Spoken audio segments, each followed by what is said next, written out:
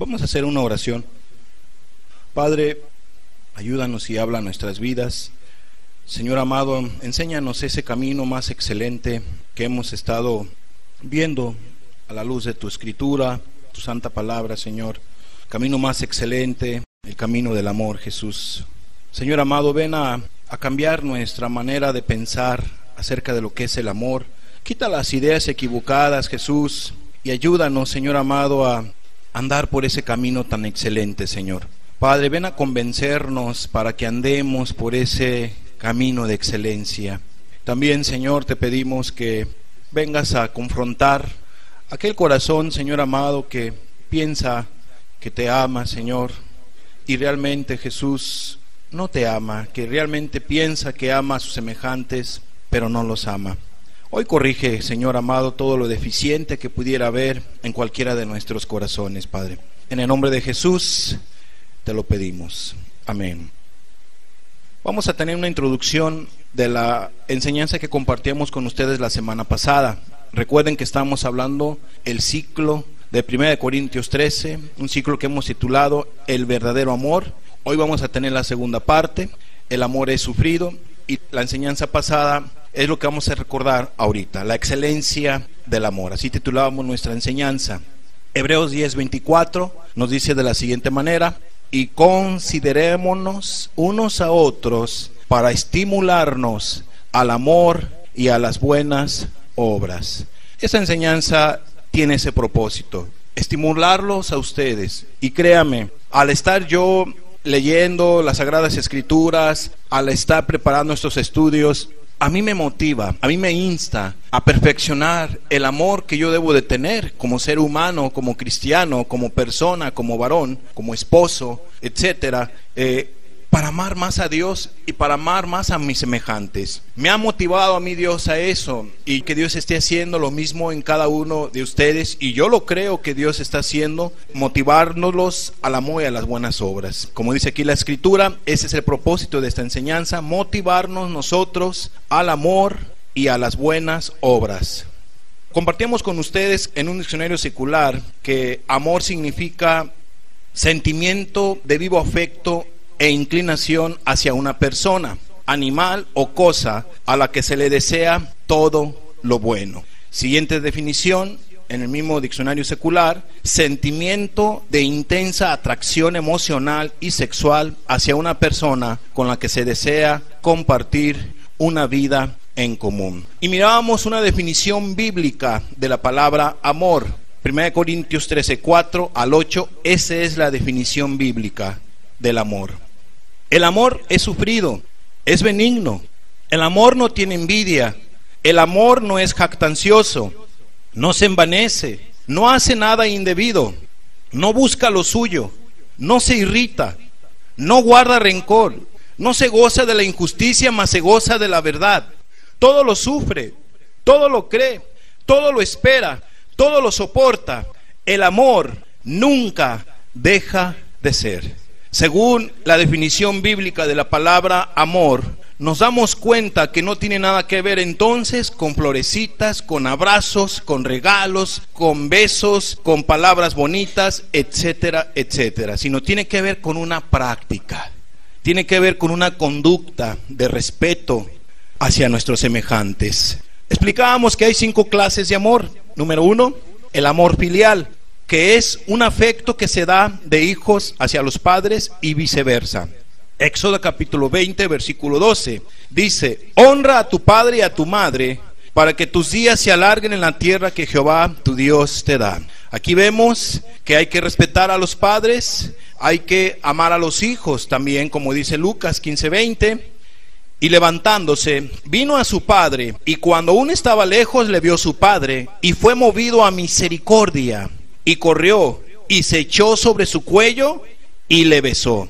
Aquí estamos viendo un amor filial, de padre a hijo o de hijo para con el padre. Y eso lo explicábamos la semana pasada. Segunda característica o segunda clase de amor, el amor fraternal. El amor fraternal que significa afecto que se tiene con hermanos de sangre, pero que se extiende a amistades que se ven como si fueran hermanos de sangre. Romanos 12:10 dice, amaos los unos a los otros con amor fraternal. En cuanto a honra, prefiriéndoos los unos a los otros. Entonces, si puede haber un amor fraternal, un amor de amistad como si fuera hermanos de sangre, como lo tenía quien, David y Jonatán, ¿verdad? También vemos la tercera clase de amor, el amor eros, que significa sentimiento de atracción emocional y sexual que se tiene hacia el sexo opuesto, con la que se desea tener una relación o convivencia bajo el mismo techo. Génesis capítulo 29, versículo 18. Y Jacob amó a Raquel y dijo, yo te serviré siete años por Raquel, tu hija menor. La primera parte dice, y Jacob amó a Raquel. No dice que Jacob amó a un hombre o que una mujer amó a otra mujer. Eso no es una clase de amor. Definitivamente el amor eros tiene que ver con una atracción emocional, sexual hacia el sexo opuesto. Cuarto, Cuarta clase de amor, el amor ágape. Es el amor desinteresado y sacrificial. Es el amor entonces que Dios nos mostró y no tiene que ver con sentimiento romántico. ¿En qué sentido Dios nos mostró ese amor? Dándonos a su Hijo. ¿En qué sentido Jesús nos mostró ese amor desinteresado para con nosotros? Dando su vida en la cruz del Calvario. Y fíjese lo que dice Romanos capítulo 5, versículo 6 en adelante. Porque Cristo, cuando aún éramos débiles, a su tiempo, murió por los impíos. Ciertamente apenas morirá alguno por un justo. Con todo, pudiera ser que alguno osare morir por el bueno. Mas Dios muestra su amor para con nosotros en que siendo aún pecadores, Cristo murió por nosotros. No, Cristo no murió por justos. Cristo murió por gente impía, por gente mala. Amados, ese es el amor de Dios. Y dice San Juan 3:16, porque de tal manera amó Dios al mundo que ha dado a su Hijo unigénito para que todo aquel que en él cree no se pierda, mas tenga vida eterna. Es un amor desinteresado el que nosotros vemos en el Padre y en el Hijo. Y por último, el amor que nosotros decíamos, el amor de muchas palabras y nada de acción. Primera Juan 3:18. Hijitos míos, no amemos de palabra ni de lengua, sino de hecho y en verdad. Ese es un mandato para cada uno de nosotros. Dios quiere que usted y yo, cristianos o no cristianos, Dios quiere que amemos, no de lengua, sino en hecho y en verdad. Amados, explicábamos que en este punto los mexicanos, muchos mexicanos, enclavan o se identifican con aquellos que aman de lengua. No, amados, debemos de cambiar eso. Debemos amar en hechos y en verdad. Explicábamos también la excelencia del amor. En 1 Corintios 13, 1 al 3 dice lo siguiente, si yo hablase lenguas humanas y angelicás y no tengo amor, vengo a ser como metal que resuena o címbalo que retiñe. Explicábamos ese pasaje. Dos, y si tuviese profecía y entendiese todos los misterios y toda la ciencia, y si tuviese toda la fe, de tal manera que trasladase los montes, y no tengo amor, de nada sirve, ¿verdad? Nada, pero nada soy. 1 Corintios 13:3 dice, y si repartiese todos mis bienes para dar de comer a los pobres, y si entregase mi cuerpo para ser quemado, y no tengo amor, de nada me sirve. En pocas palabras, créame amados, que son hermosos los dones que Dios da, que el Espíritu da. Es bueno tener cada uno de estos puntos que acabamos de mencionar, pero mucho más buenos que todos ellos, mucho más excelente es el amor. Es el amor. Dios quiere que nosotros amemos en hechos y en verdad. Colosenses 3:14 para terminar nuestra introducción a esta enseñanza. Y sobre todas estas cosas, vestíos de amor, que es el vínculo perfecto. ¿Cómo nos vamos a vestir? Con lo que vamos a estar explicando en las próximas enseñanzas. Vamos a hablar del amor. Primeramente, entonces, pasemos a nuestra enseñanza como primer punto de este ciclo, de este tema que vamos a compartir. Como segunda parte, el amor es sufrido. Es lo que vamos a explicar en este día. Primera de Corintios 13:4 nos dice que el amor es sufrido. Y para entender un poquito, porque a la hora de decir que el amor es sufrido, no sé qué piense la persona. A veces la gente puede pensar, ah, por eso es que sufro mucho, porque amo yo mucho. No, amados, a veces la gente sufre por la consecuencia de su mala manera de vivir, por la equivocación de su mala manera de vivir, como está llevando su vida ante sus semejantes y ante el Creador. No, amados. Por eso es importante ver la definición. Va más allá. Vamos a ver entonces la definición de la palabra sufrido. En un diccionario secular significa lo siguiente. Persona que soporta resignadamente o sin quejarse una situación dolorosa. Siguiente definición. Persona que denota un sufrimiento soportado con resignación y en silencio. Eso es lo que nos deja ver un diccionario secular con respecto a la palabra sufrido. En el griego nos da una definición un poquito más profunda y nos dice que en el griego significa macroxumeo, que quiere decir tener espíritu largo. Dos, que aguanta o que es paciente y tarda en responder. Si tú ves, está hablando de un sufrimiento, no a consecuencia de un acto o de una mala manera de vivir, sino de una situación que está pasando la persona o que le están haciendo a la persona. Es tener un espíritu largo que aguanta o que es paciente y tarda en responder. Y eso tiene que ver en nuestra vida práctica. ¿Cómo poder aplicar esta enseñanza? ¿Cómo poderles hablar? ¿De qué manera poder dar un ejemplo acerca de este punto, de esta palabra, de la palabra sufrido? Amados, que en esta enseñanza nos quede claro a qué se refiere nuestro Dios en este primer punto, que el amor es sufrido. Hay muchas causas que pueden llevar a una persona a sufrir. Aquí es donde entra este punto tan importante del amor es sufrido. El cómo debes de llevar esta situación o esa aflicción es muy importante, que hay que tomar resignadamente, siendo paciente para no actuar precipitadamente y sin una falta de amor. ¿Qué es lo que no debes de sufrir? Antes de empezar a explicar este punto, ¿qué es lo que tú no debes de sufrir? Porque, como te decía, las personas pueden pensar, el amor es sufrido, entonces yo como amo siempre debo de estar sufriendo. Como por ejemplo, siempre debo de estar sufriendo malos tratos de mi esposo.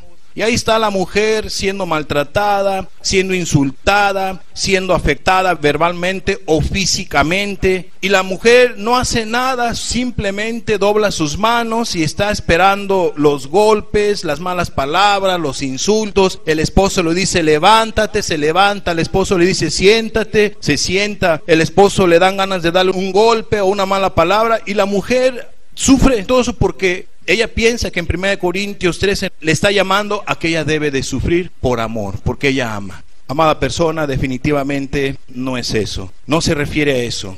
Un marido golpeador, hay que denunciarlo. ¿no? Un marido que se porta mal, que anda insultando y todo, la verdad, la mujer tiene una dignidad y la mujer no es que le va a devolver mal por mal, pero tampoco es ese tipo de sufrimiento. No, amados, para todo hay un orden y hay siempre un pasaje bíblico para alumbrarnos y quitar errores que en ocasiones las personas pueden tener, sobre todo respecto a este punto, que el amor es sufrido. Hay tantas personas que sufren por años malinterpretando este pasaje, ¿no? Que el amor es sufrido. Por eso es que yo sufro y por eso es que yo debo de sufrir, porque la Biblia dice que si yo no sufro, pues entonces no amo. Entonces no tiene nada que ver el amor sufrido al que se refiere aquí 1 Corintios 13:4, con un maltrato verbal, un maltrato físico. Tampoco tiene que ver con un sufrimiento de una injusticia. Se te hace a ti una injusticia, pues porque tú eres cristiano, no tienes que ir a las autoridades, no tienes que defenderte, que si te venden, no sé, algo malo y que tú pues tienes que quedarte callado, no tienes que decir nada, no tienes que reclamarle, oye, ¿por qué me estás vendiendo esto si esto no es correcto, etcétera, etcétera? Oye, yo confío en tu palabra, en fin. Amados, el cristiano está en lo correcto en un momento dado, preguntar, preguntar un por qué, por qué esta situación. Amados, es que hay en ocasiones que hay que sufrir ciertas situaciones, pero también hay que hablar, ¿no? Hay que defenderse hasta donde uno pueda sin llegar a una violencia sin llegar a afectar a nuestro prójimo, de una manera pacífica, de una manera bíblica y teniendo un corazón perdonador.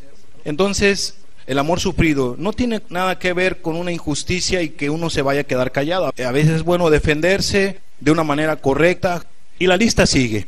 Pero eso no es el amor a la cual nos dice la escritura que sea un amor callado, ¿verdad? Sino que en ocasiones tenemos que defendernos, que hablar de una manera pacífica. Siguiente punto de lo que estamos compartiendo. ¿Cuándo hay que sufrir? Según la definición que nosotros vimos en el diccionario secular, nosotros nos debemos de resignar a sufrir una adversidad en el cuerpo o de algún ser querido. Les voy a leer esta nota que me llamó mi atención estamos viendo en este punto que debemos de resignarnos a sufrir una adversidad en el cuerpo o de algún ser querido.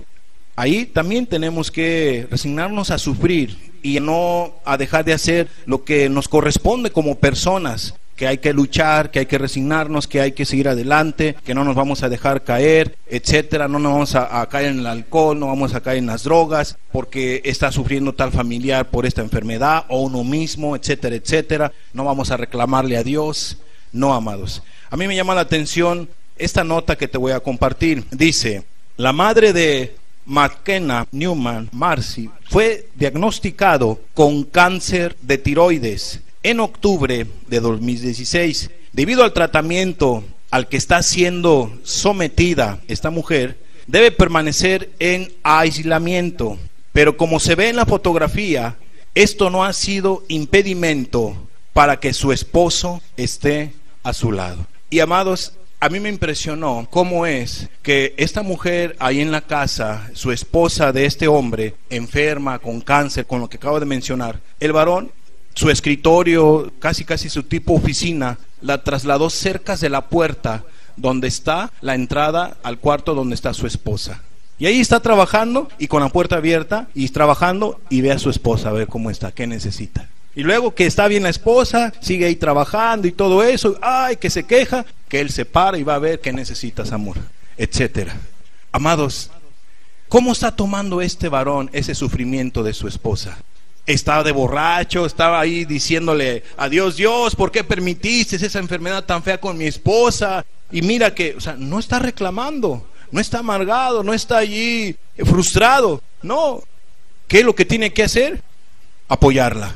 ¿Cuántos hombres nada más se enferma su esposa y ya enfermita? hombre, ¿sabes qué? Ya me molaste mis planes. ¿Y ahora qué voy a hacer? ¿Sabes qué? Ahí nos vemos, así no me sirves. Qué tremendos son y qué impíos, qué malagradecidos y qué injustos aquellos que hacen eso. No, amada persona, así no debe de ser. Este varón, no te estoy diciendo si es cristiano o no es cristiano, lo que sí pude ver es de que ama a su esposa, quiere a su esposa, bajo las buenas y las malas.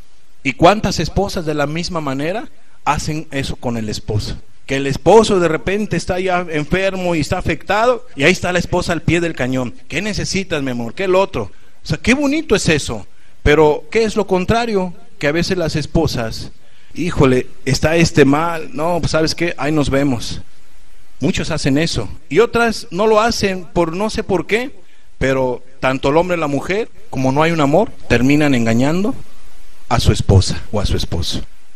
Y no están sobrellevando esa situación, ese sufrimiento. Por eso te decía, tiene que ver con algo práctico a lo que se refiere aquí la escritura. El amor es que sufrido. Y este varón, eso fue lo que hizo. Dice, según reportó el sitio BuzzFeed, la situación no es casual ni posada, pues McKenna declaró que su padre, que es la hija, su padre acompaña a su madre todo el tiempo.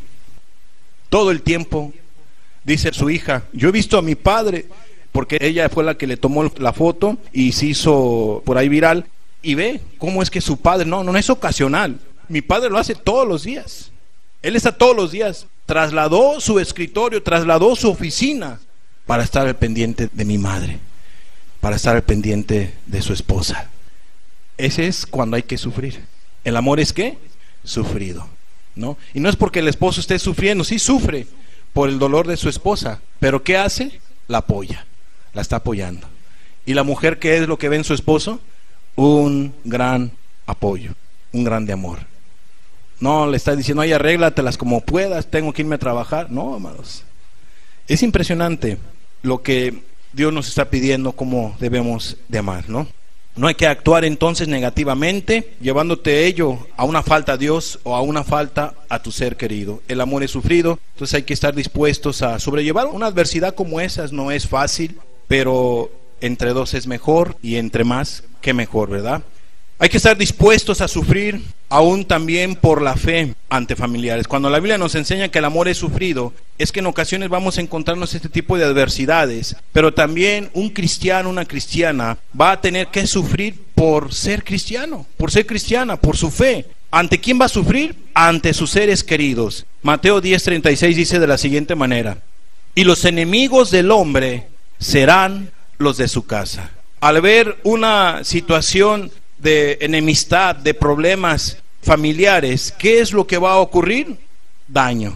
La persona va a empezar a sufrir, sea el hombre o sea la mujer, por causa de su fe, va a empezar a sufrir unas adversidades, situaciones, malas palabras, porque él es cristiano, porque ella es cristiana, de parte del esposo, de parte de la esposa. Los hijos se van a poner, mamá, mira que ya no seas tan religiosa, tan exagerada, no es así, no, yo no te voy a hacer caso, etcétera, etcétera. Por ahí de repente el papá pues se los lleva a otro lugar insano, como dicen aquí en México, algunos padres que se llevan a sus hijos que ya nomás tienen 14, 15 años, vengan ese hijo, les voy a enseñar a ser hombres. Y se los llevan a un lugar a hacer cosas indebidas con una mujer. Porque quieren que sean hombres. Así hay varios padres que hacen eso en México. Y eso está fuera de lugar, eso no es correcto. Pero ahí la cristiana, si ve eso, que es una costumbre, pues es obvio que se va a oponer y va a tener problemas con su esposo. Entonces, a causa de la fe, muchos cristianos, muchas cristianas van a tener que hacer frente a esas adversidades, a esos problemas, no devolviendo mal por mal, sino venciendo con el bien el mal. Eso es lo que hay que hacer. Hay que estar dispuestos a sufrir por la fe, por ser cristiano, cristiana, por amar a Cristo hay que estar dispuestos a sufrir desaires, aún de nuestros seres queridos, aún de nuestros parientes, de nuestros padres, esposa, esposo, e hijos, hermanos, etcétera, etcétera. Aquí yo pudiera darles muchos ejemplos, pero amados, si tú eres cristiano, eres cristiana, y estás sufriendo cualquier adversidad por causa de tu fe, y estás sufriendo ciertas situaciones muy difíciles, yo te invito a que no dejes de luchar. Tienes que ir hacia adelante con la ayuda de Dios, con la gracia de Dios y no desistas. Es ahí donde el amor es sufrido. El amor a Cristo entonces trae un sufrimiento, una adversidad, un problema. Y recuerden que Jesús nos dijo que los enemigos del hombre serían los de su propia casa. No porque Dios quiera o Jesús quiera que nuestros enemigos sean nuestros, nuestros familiares, sino que por causa de la fe por causa de ser cristiano, por causa de entregar tu vida a Cristo, vas a tener ese tipo de problemas con tus seres queridos, que te van a despreciar, que te van a injuriar, que te van a decir malas palabras, que van a hacer burla de ti, simplemente porque tienes una Biblia, o simplemente porque oras, o simplemente porque vas a una reunión como de estas. Te empiezan a señalar, te empiezan a hacer bullying, y ahí es donde entra que el amor es que sufrido. No te vas a poner tú al tú por tú con ellos. Hay que sufrir esa situación con la ayuda de Dios. Cuando se deja de sufrir, entonces viene la venganza, vienen las malas palabras, vienen los pleitos y viene el mal testimonio. Y eso no es correcto. Hay que estar dispuestos también a sufrir por causa de Cristo. A eso se refiere que el amor es sufrido, que en ocasiones un cristiano debe de sufrir por causa del Señor Jesucristo. Y hay que estar dispuestos, dice 2 Timoteo 3, 11 y 12. Pero tú has seguido mi doctrina conducta, propósito, fe, longanimidad, amor, paciencia.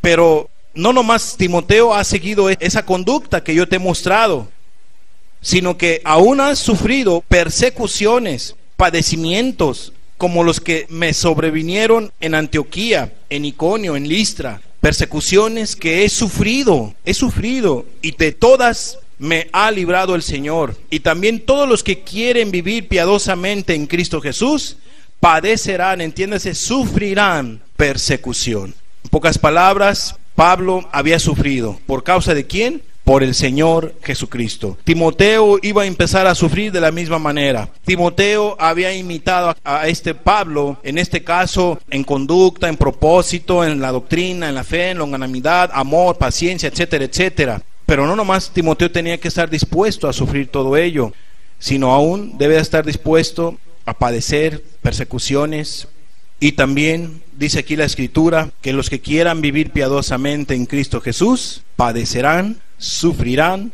persecución, adversidades un cristiano debe de estar dispuesto a sufrir por causa del Señor Jesucristo. Yo sé que aquí en México no hay una persecución contra los cristianos, contra las cristianas, como lo hay en otros países donde pues realmente sí están sufriendo, donde si los agarran, los torturan, si bien les va. Ya cuando mal les va, pues es cuando los matan o los encarcelan y les hacen tantas barbaridades y están que ellos sufriendo el amor es sufrido. El amor a Cristo nos lleva en ocasiones a ese tipo de sufrimientos. Y un cristiano debe de estar dispuesto a ello. Ahorita, gracias a Dios, aquí en México no hay ese tipo de situaciones, de persecuciones. En algunos sectores por ahí más o menos podemos encontrarnos, ¿verdad? Pero no como lo hay en otras naciones, en otros países, donde la gente, por causa de ser cristiano, por causa de amar a Cristo, está sufriendo de esta manera que Pablo había sufrido por causa de nuestro Señor Jesucristo. Primera de Pedro 3:17 dice,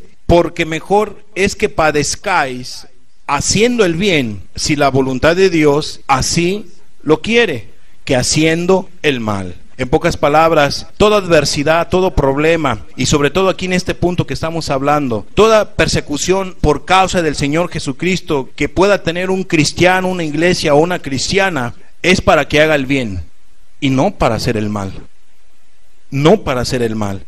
En pocas palabras, no es que en un momento dado, ah, pues yo soy cristiano y llega alguien, ah, tú eres cristiano, ahí te va un trompón en la cara. Y tú dices, pues que acabo la Biblia y dice ojo por ojo y diente por diente, ahí te va el otro trompón. No, no es así, amada persona.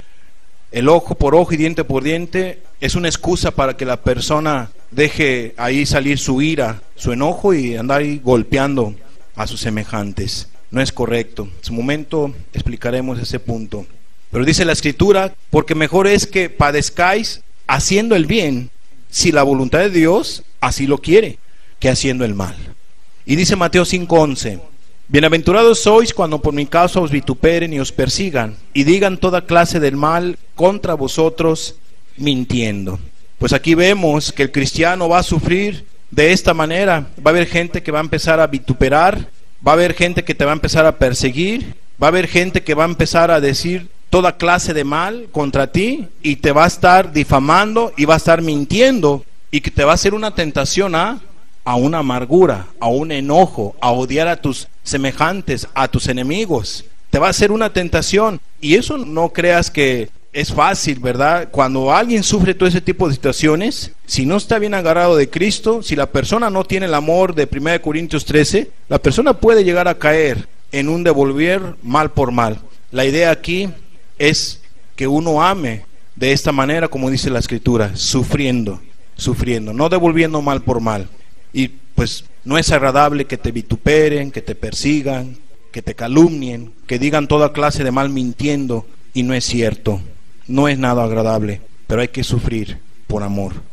No hay que devolver mal por mal. Filipenses 1, 29 y 30 dice, porque a vosotros os es concedido a causa de Cristo, no solo que creáis en Él, sino también que padezcáis por Él, que también suframos por Él, teniendo el mismo conflicto que habéis visto en mí y ahora oís que hay en mí. Entonces dice la primera parte o el, versículo 29, porque a vosotros os es que concedido.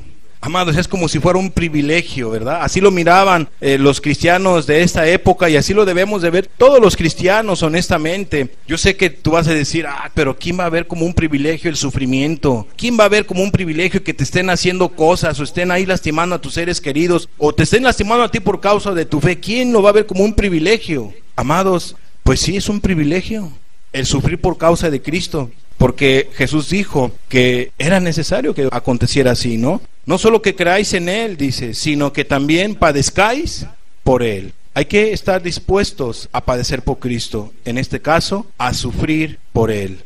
También, 1 Corintios 13, a lo que nos lleva a que el amor es sufrido es a sufrir un agravio entre hermanos cristianos si es que se llegara a dar. No es que fuera un común denominador, pero puede haber una situación de pleito entre cristianos, un malentendido o una situación que el cristiano se descuidó y cometió una falta y esa falta pues es que lastimó a otro hermano cristiano, a otra hermana cristiana o a un número de cristianos y entonces ¿qué es lo que se tiene que hacer? Primera de Corintios 6:5, fíjate lo que dice.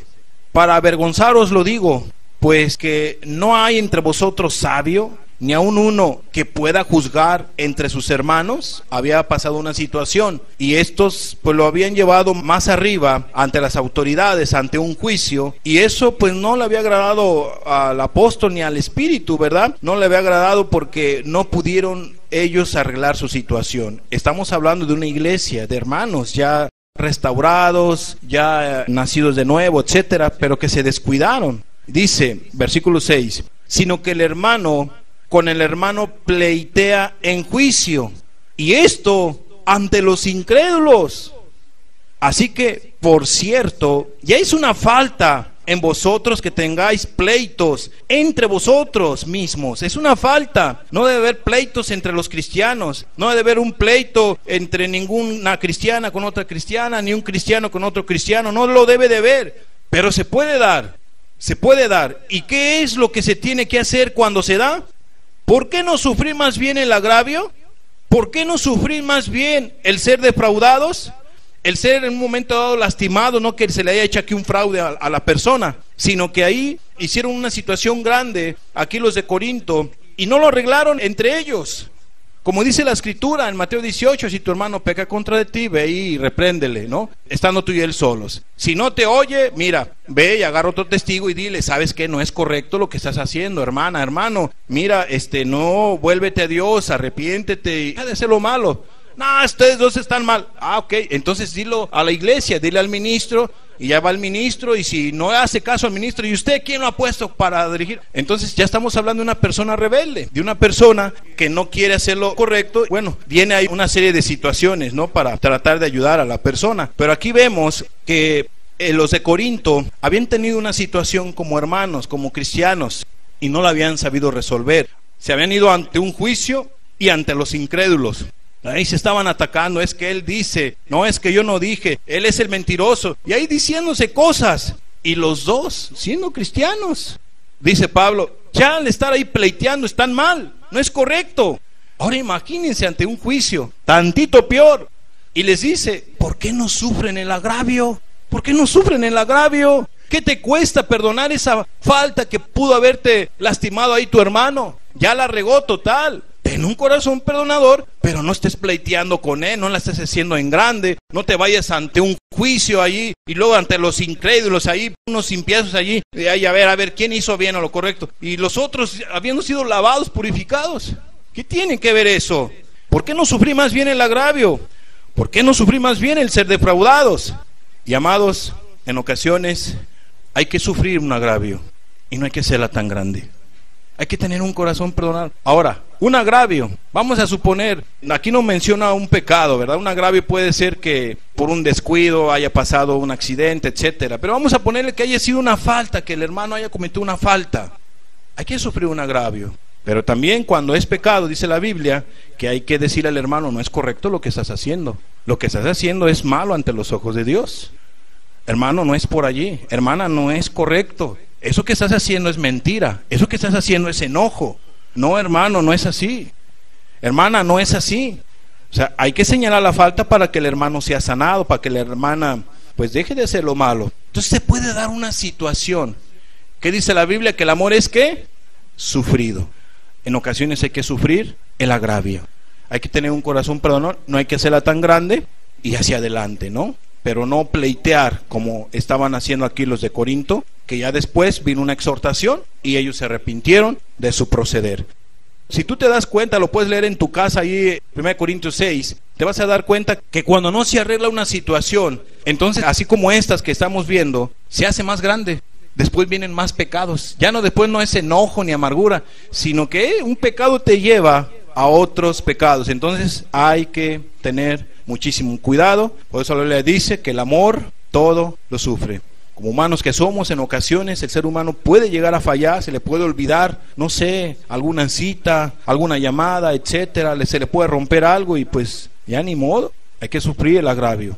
Pero también hay agravios que secularmente se tienen que sufrir con paciencia. Yo sé que aquí estamos enfocándonos a entre hermanos cristianos, pero ahora nos vamos a pasar a esos agravios seculares que entre las personas, entre los ciudadanos, en fin, como seres humanos, y si tú eres cristiano, quieres ser cristiano, tienes que sufrir con paciencia. Hay agravios seculares que se tienen que sufrir con paciencia, como por ejemplo el autoritarismo o la altivez de ciertas personas que están en eminencia dentro del gobierno, etcétera. Pueden ser tus patrones, tus jefes, etcétera, etcétera. Personas que se aprovechan y son autoritarios, son altivos y empiezan a agraviarte y empiezan a, a insultarte. Y bueno, tú dices, híjole, me le puedo poner al tú por tú, pero si me lo pongo al tú por tú y es mi patrón o mi patrona, me va a correr.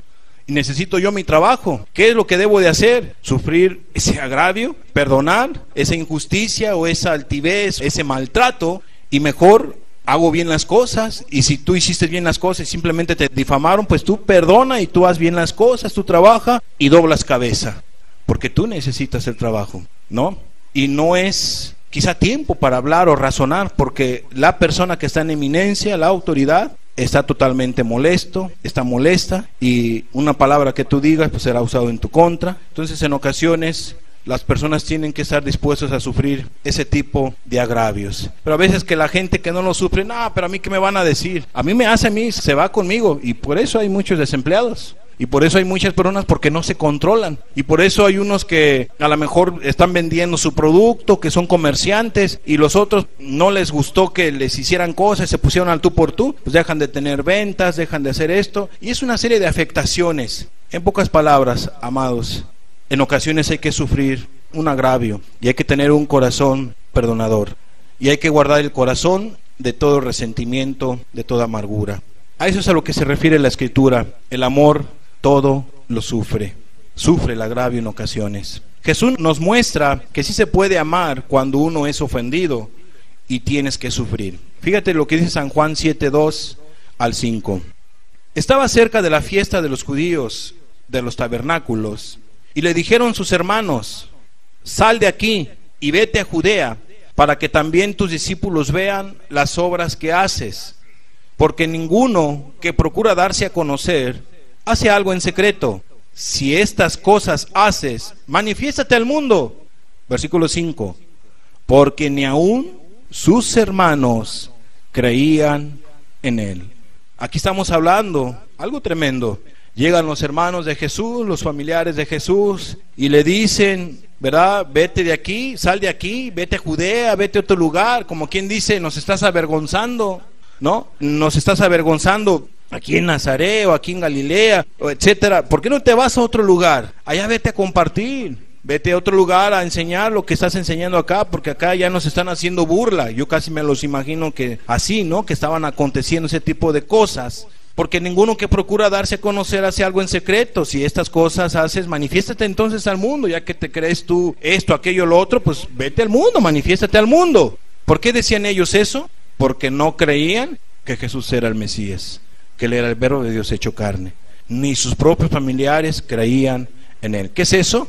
Aflicción, problema, sufrimiento dentro del núcleo familiar. Y aquí yo te pudiera dar más ejemplos de cómo es que nuestro Señor Jesucristo estuvo sufriendo no nomás por sus familiares, sino Él también sufrió por sus amistades. ¿Quién lo traicionó? Judas. Y Él sufrió, pero siguió adelante, rumbo a la cruz. Él no dejó de hacer la obra, Él no dejó de amar, él nos dio ejemplo que sí se puede sufrir sin faltarle el respeto a nadie. Sí se puede sufrir varias adversidades, problemas, desaires, eh, situaciones, eh, injusticias, con autoridades, con la familia, con amistades, con la gente. Jesús sufrió y pasó la prueba. Él pasó todo tipo de adversidad y Él nos deja ver con ese ejemplo personal de su propia vida que sí se puede sufrir el agravio, se puede sufrir situaciones, aún de sus propios personas allegadas, ¿no? Como lo eran sus discípulos. Amados, Jesús nos dio un ejemplo de que sí se puede sufrir. La Biblia dice que el amor es sufrido. Él no dejó de hacer lo que tenía que hacer. Nosotros tampoco lo debemos dejar de hacer. Toda adversidad que lleva a una persona a sufrir tiene un propósito. Toda adversidad que pueda estar pasando un ser humano y que lo lleva a un sufrimiento, siempre hay un propósito. Y sobre todo cuando es cristiano. ¿Cuál es ese propósito? A que uno sea más fuerte, a que uno vaya siendo más paciente, soportar más con paciencia tal adversidad, tal problema, y para que uno no pierda la cordura. Segunda de Corintios 12:10, fíjate lo que dice, por lo cual, por amor a Cristo, me gozo en las debilidades, en afrentas, en necesidades, en persecuciones, en angustias, porque cuando soy débil, entonces soy fuerte. mientras vengan más situaciones difíciles, adversas, problemas de sufrimiento, créemelo, hay en ocasiones que nos llega todo ese tipo de situaciones tan difíciles, enfermedades, problemas con familiares, problemas aquí, problemas allá. Caray, a veces uno dice, ya no hay lo duro, sino lo tupido, ¿verdad? Ya me está lloviendo sobre mojado. Es una y otra, una y otra y una y otra. Y viene a mi mente el siervo Job, ¿verdad? El siervo Job, todo iba bien, todo iba bien con él, Dios estaba con él, sus hijos, era el hombre rico, era próspero, etcétera, etcétera. Pero de un de repente, ¿qué le vino? Muchas situaciones adversas. ¿Que lo llevó a él a qué? A tener qué? Un, un sufrimiento. Y ese sufrimiento que él tuvo, ¿tenía un propósito o no tenía un propósito? Había un propósito. Cada sufrimiento que el ser humano pueda llegar a tener, Dios tiene un propósito. Siempre hay un propósito. Siempre. El propósito para con el siervo Job era que conociera más a Dios y Dios después lo bendijo en grande manera, en muchas cosas. Había un propósito, había un plan, había un propósito. Dice Romanos 8, versículo 28, y sabemos que a los que aman a Dios, todas las cosas les ayudan a bien. Esto es, a los que conforme a su propósito son llamados. Entonces la primera parte nos deja ver lo siguiente, que todo ser humano, cristiano, cristiana, que todos aquellos que aman a Dios, lo sabemos, dice el apóstol, ya lo tenemos experimentado, es una realidad, es una verdad, que a toda aquella persona que ama a Dios, todo lo que le ocurra le ayuda a bien, es para bien. Siempre hay un propósito cuando viene un sufrimiento de una o de otra manera. Siempre hay un propósito. Aprendamos de Dios, de su amor paciente. Aprendamos de Dios su amor paciente. Fíjate lo que dice Jonás 4.2. Y oró a Jehová y dijo, ahora, oh Jehová, ¿no es esto lo que yo decía estando aún en mi tierra? Por eso me apresuré a huir a Tarsis porque sabía yo que tú eres Dios clemente y piadoso, tardo en enojarte y de grande misericordia, y que te arrepientes del mal. En pocas palabras, ¿qué nos deja ver esta porción de la escritura? Que el Dios de los cielos, dice Jonás, por eso es que yo no quería venir a Nínive, porque yo sabía que tú eres un Dios que misericordioso, que eres un Dios que tardo para la ira, que eres un Dios que clemente y piadoso, tardo en enojarte y grande en misericordia. ¿Qué es eso, amada persona? Un Dios longánimo, un Dios grande en todos los aspectos que está diciendo aquí Jonás. Un Dios paciente, muy paciente. Un Dios que sufrido, si tú lo quieres ver de esa manera. El amor, todo qué? Todo lo sufre. ¿Y ustedes creen que Dios no sufre con todo lo que el ser humano hace en esta época? Si Dios no fuera paciente, si Dios no fuera tardo para la ira, Él ya hubiera terminado con la raza humana desde cuándo. Jesús nos dice, yo quiero que amen de esta manera, que sufran, porque es una característica del amor verdadero. El amor todo lo sufre. Ejemplo, como quien dice, diciéndonos Dios, para muestra un botón. Ahí está el Dios de los cielos, que no ha destruido la humanidad porque Él es tardo para la ira y no quiere que nadie, nadie se pierda. Él es misericordioso. Amados, de veras, es impresionante, pero es una realidad. Dios, en su grande amor, ese amor paciente, ese amor sufrido, Él está sufriendo tantas adversidades, tantas iniquidades, que hasta la fecha no ha destruido al ser humano. Él tiene que aguantar, él tiene que sufrir todas las ofensas día tras día que se le hace y sigue aún esperando que la gente se vuelva a él. Fíjate lo que dice segunda de Pedro 3 versículo 9. El Señor no retarda su promesa, según algunos la tienen por tardanza, sino que es paciente para con nosotros, no queriendo que ninguno perezca, sino que todos procedan al arrepentimiento. El amor es sufrido.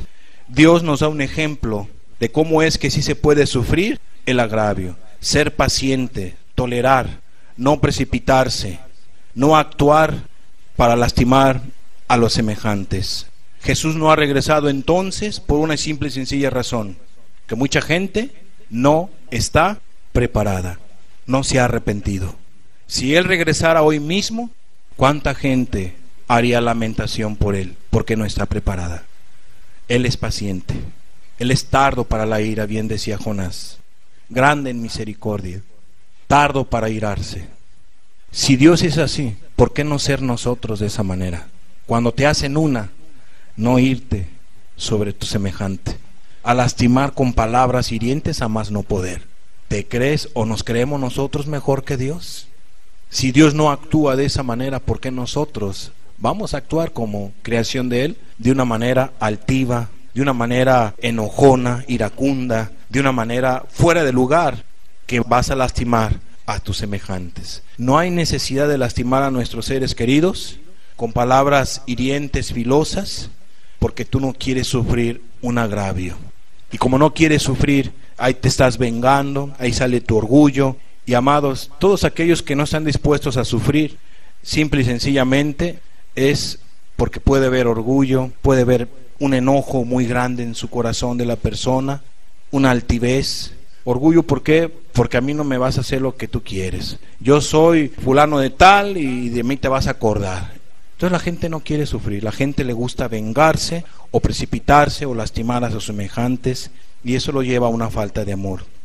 Amados, yo no sé cuál sea tu situación en el trabajo, yo no sé cuál sea tu situación en tu casa, yo no sé cuál sea tu situación que tú estés pasando en tu cuerpo, si tengas alguna enfermedad y tengas algún tipo de sufrimiento, pues algo delicado, algo particular, estás enfermo, tienes quizá a lo mejor algo que te va acabando cada vez tu cuerpo, pues no te desanimes, hay que seguir adelante, eso no te debe dar un permiso para que tú eh, le faltes el respeto a tus semejantes y mucho menos a tu creador, sino hay que ser fuertes y hay que sobresalir de esa situación de una buena manera y no de una mala manera.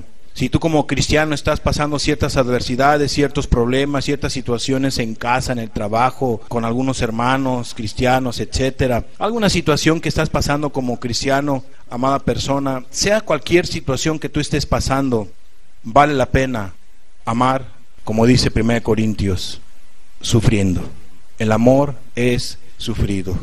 Hay quienes dicen, no soporto a esta persona, me cae mal, no lo quiero ver, aléjalo de mí, aléjale de mi vista, no te quiero ver. Personas que no quieren sufrir, personas que en un momento dado muestran una actitud fuera de lugar, no humilde, claro está, no lo aguanto, me cae mal, nada más tan solo el verle se me revuelve mi estómago, dicen a veces las personas es que no lo trago, dicen, no lo trago, nomás no, no hay química, no lo sé, qué tantas cosas más dicen las personas, ¿verdad? Pero, ¿por qué? Pues porque no quieren sufrir el agravio, no quieren amar con un corazón perdonador. Hay otros que piensan que este amor es algo que pareciera ser algo inalcanzable. Sí se puede, amados, nada más es cuestión de voluntad. Amados, amemos en hechos y en verdad unos cuantos sufrimientos y luego, luego, darle la espalda a Dios no es correcto. Unos cuantos sufrimientos y Dios, yo ahora que he decidido entregar mi vida a ti, mira lo que me viene. No, si es así mejor me voy y te revelas y te vas otra vez a tu pecadote, a los primeros sufrimientos, a las primeras aflicciones. No, amados. Es más, todos aquellos, dice la escritura, que quieran vivir piadosamente, sufrirán qué? Sufrimientos adversidades, problemas, situaciones difíciles, no se desanimen. Yo que seriamente he hecho una decisión para buscar de Dios y es más cuando viene la tentación y es más cuando viene el problema y es más que me están ahí provocando y todo y ni modo que no me enoje y ni modo que no pegue y ni modo que no me calle. ¿Qué? Porque está el carácter, está el orgullo, está la manera de ser la persona. ¿Cómo me van a decir? Y yo voy a quedar callado. El amor todo lo sufre. El amor todo lo sufre. ¿Cuántos dejan de buscar a Dios? A los primeros sufrimientos. Me diagnosticaron esta enfermedad y dejan de seguir a Dios. Se amargan contra de Dios. Me pasó esto, pero oyes, pero tú sigues buscando. No, ¿para qué? ¿Dónde está Dios? Y se amargan contra de Dios a los primeros sufrimientos. Hay que tener cuidado, amados, de esas soluciones express a los sufrimientos. A veces uno empieza a sufrir, ah, ya empezó el problema, hermano, pero esperemos que no sea tan seguido o que se solucione rápido. No, a veces no se solucionan rápido. Hay que ser pacientes. El amor todo lo sufre. Entonces, ¿por qué la persona no quiere sufrir? Sencillo, no hay un amor a Dios, al prójimo. Es por eso. Cerramos nuestros ojos, por favor. Padre, tu palabra nos enseña el significado del verdadero amor. Como primero de toda la lista que vamos a estudiar, Señor, lo encabeza que el amor es sufrido. El amor es sufrido. En pocas palabras, cuando alguien ama, Señor, se va a encontrar con esta serie de situaciones que hemos visto. Problemas, que nos llevan a un sufrimiento por causa tuya, por causa de la verdad, por causa de la justicia, problemas con familiares, amistades, dentro de la iglesia, problemas aquí, problemas allá, Señor, que causan un sufrimiento, un dolor, una tristeza, una enfermedad personal. Cuando vienen todas estas adversidades, Señor, alguien que realmente ama no se va a amargar, no va a devolver mal por mal, no va a dejar de hacer lo que tiene que hacer, como padre, como madre, como esposo, como esposa, como hijo, como trabajador, como patrón, como obrero, como autoridad, como cristiano, como cristiana. Los sufrimientos tienden a cambiar el estado de ánimo cuando no se toma de una manera resignada, Señor, como mirábamos en la definición. Jesús, ayúdanos, ayúdanos a amar de esta manera, a tener esta clase de amor, a estar dispuestos a sufrir, amando, respetando, respetándote a ti respetando a nuestros semejantes. Señor, es bonito, es excelente este camino. Dice el apóstol, mas yo os muestro un camino más excelente. Qué hermoso es Jesús tomar estas adversidades, estos sufrimientos, haciendo lo bueno y no defraudándote ni defraudando a nuestros semejantes. Padre, en el nombre de Jesús, ayúdanos a anhelar este estilo de amor. Ayúdanos, Señor, a amar con esta clase de amor. En el nombre de Cristo te lo pedimos, Padre. Amén.